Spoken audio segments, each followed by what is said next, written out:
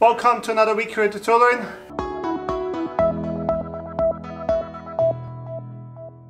We are working on the floor in the loft and then potentially, depending on what time it is, we might even get to doing some of the wall.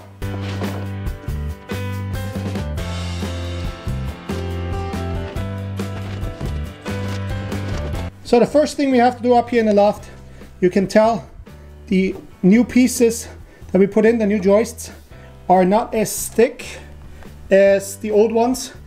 So therefore we have to put a shim piece all over this area that has the new parts. So we have to cut it to piece and then just fit it in right in that section so that we can put the real floor right on top, it, uh, top of it and it being completely flat.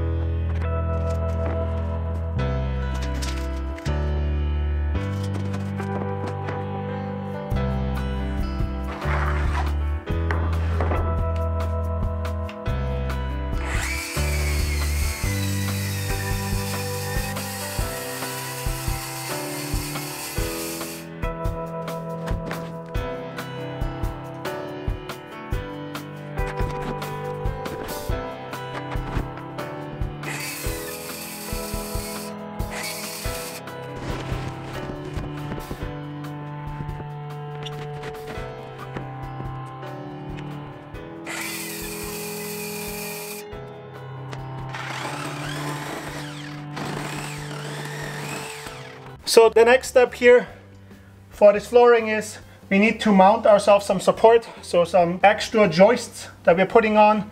It's gonna be just 2x4. We just need to strengthen this area here when you put your foot there. So we need to support that and then also on each side of the wall beam we need to add one too there's nothing we can put or we can nail the floor back down.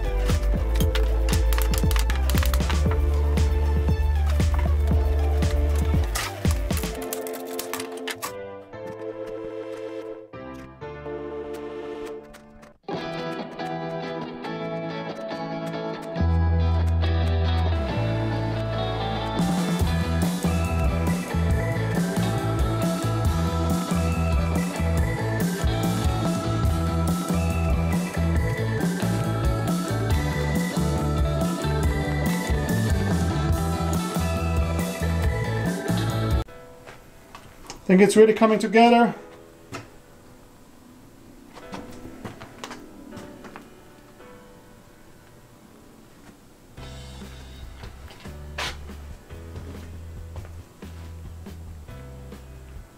So one of the hardest things with this floor is that unfortunately the old and the new beams, it's not all completely flat to each other. So I had, as you can tell in the footage, I had to hit some of that some of those boards together. And obviously it would have been nice to have a second person but since I was alone today I just had to use some heavy objects like the old uh, uh, chim chimney pipes the clay pipes to just hold down one of the sides while I knock the other one in and then vice versa knock the other side in all the way too. So that was the hardest part and just getting it all in. There's a small little piece over there about four or five inches that I don't have uh, flooring on yet because I just ran out I didn't have a wide enough piece to do at the end and I didn't want to just cut a full length, uh, full width piece because obviously it's expensive material. Um, I think it's like $70 a sheet like that. So I didn't want to cut just for just for a two, three foot long um, section. And most likely what's going to happen is we will have the the AC unit have some ducting going around um, Elias's side here anyways. So probably we will have some kind of wall that uh, closes this up. Uh, yeah, closes it up. So we will not have uh, this area completely open and therefore if um, I don't have a floor all the way into the corner, I think that's sufficient. And if it is, if it comes to it, we will obviously just put another short piece in. I have some small pieces, but I just didn't finish that. I also will do uh, flooring all the way around just to finish it out uh, but I want to clean out the rafters first before I do that so otherwise if I put that on it's going to be really hard to get the rafters fully cleaned out. One of the things I'm looking forward to in the near future is the temperature change as fall starts and we might get temperatures in the 60s 70s instead of in the 80s 90s and especially up in the attic uh, it's probably even 100 or even more with just heat rising and um, staying up here in the attic. So getting cooler weather would be really nice.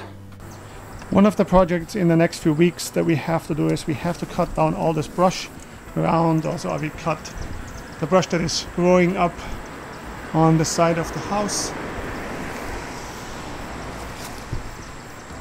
We have to cut that all off because obviously the roofers will have to put some scaffolding up and they would they want to have access to it so all of that stuff has to go on all the sides so they can put a safe scaffolding up to fix the roof. Well I think this is it for this week. A little shorter video but we had a lot of stuff going on. Julie had a art show yesterday so I was watching the kids and today Sunday I only got the floor done. Um, I mean we got the entire floor done so that's the nice thing. And then next week we'll work on the wall right here that goes down into Elias's loft. So the kids can't fall down. We have some plans.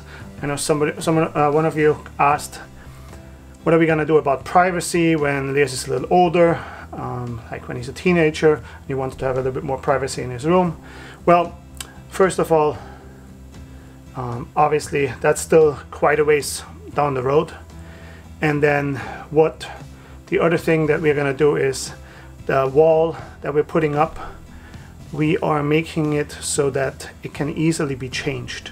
We don't have to do a whole new remodel just to finish the outside and the inside of that wall so that we can really separate it from um, from being a kid's loft to just really a separated room at that point and then really at, he, he would have the privacy at that point because then it's just a continuous wall that goes all the way up and nothing else so that's kind of the plan for that and we obviously want to make the wall secure so the kids can't fall down um, but we still want it so that the kids can play.